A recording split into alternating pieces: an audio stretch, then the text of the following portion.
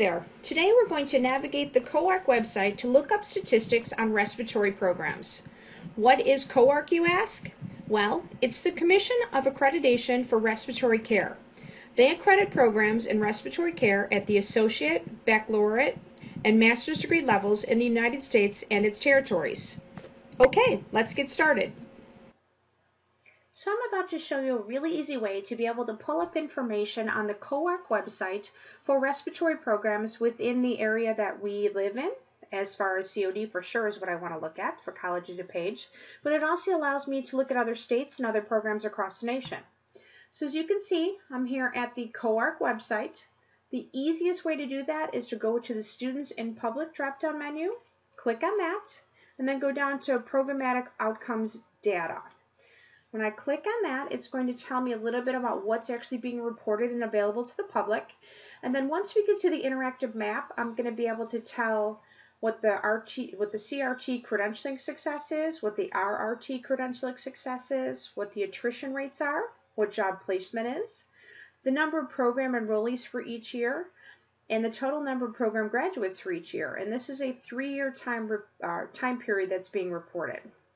So if I page down here, you'll see where it says click here to access an interactive map of outcomes data from 2015 Annual Report of Current Status for entry into respiratory care professional programs. It's a mouthful. So I'm going to click right here on the red button and it's going to pull up an interactive map for me. So the easiest thing to do is go ahead and close this direction section out so that I can pull up the map of the United States. Now, because I want to look at the College of DuPage program, I'm going to click on Chicago. And then as you can see, it's going to pull up a little bit closer picture of our region. Each of these dots are individual programs, so I could go to any one of these and look up the statistics on each of those programs and certainly see what the competitive uh, rates are for each of the programs surrounding us. In the Chicagoland area alone, there are five programs, so I'm going to click on that five to give us an even better view. So all the way over here is College of DuPage, when I click on the little red dot, it's going to give me all of the information about that program. So it's going to tell me the address of the location of the college, the program number. The status is that they are an accredited program. It is an Associate's of Applied Science degree. It's at a community or junior college.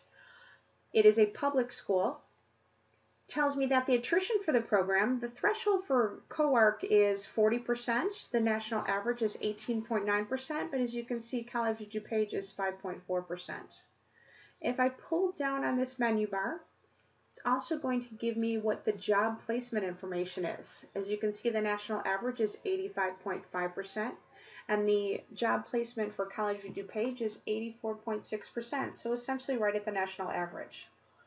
Now looking at the CRT success, the threshold for COARC is 80%, the national average is 92.3, and College of DuPage is at 94%.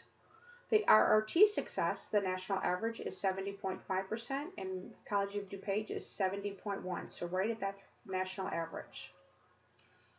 If I pull down employee satisfaction, it's telling me the threshold, 80%, National average is 98.9% and COD is at 98.1.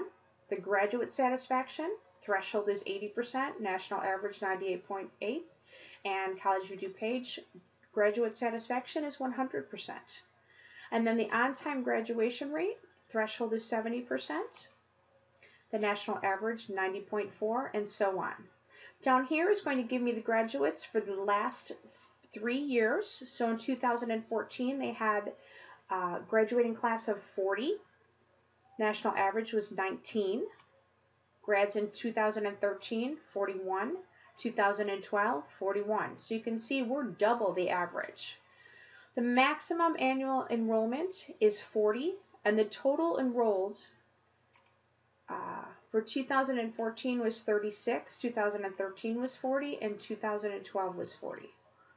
So as you can see, just by pulling up this interactive map, it's going to give you a ton of information about different programs across the United States.